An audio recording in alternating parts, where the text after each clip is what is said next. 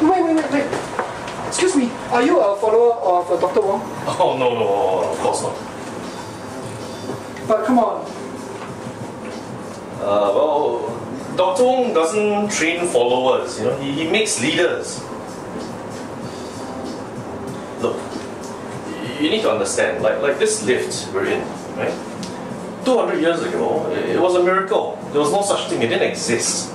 Now, it is wholly logical. We're riding in it, we believe it, we trust it. It exists.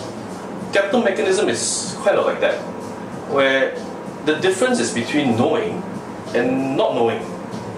And you got to realize sometimes what you don't know is more vast and more potent than what you do know.